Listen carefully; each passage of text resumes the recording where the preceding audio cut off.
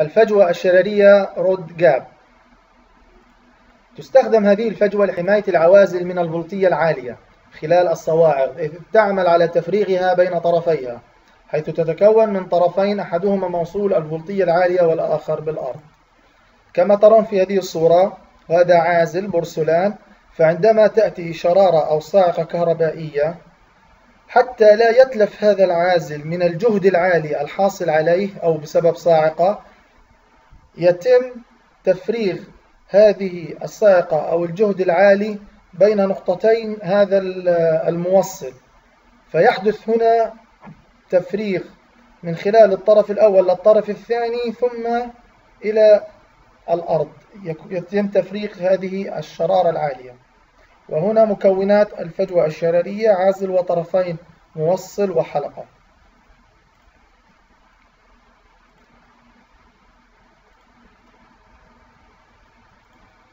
جدول يوضح أبعاد الفجوة الشرارية.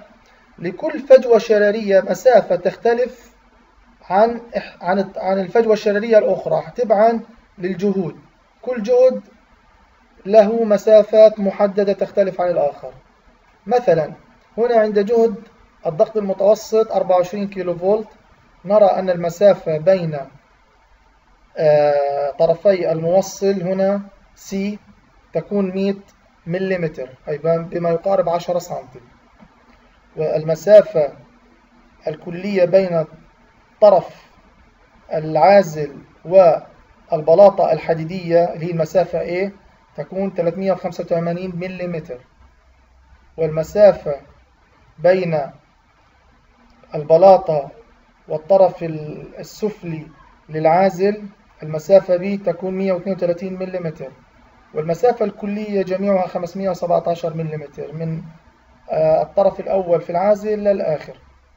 هذه أبعاد ثابتة استاندرد عالمية يتم القياس عليها.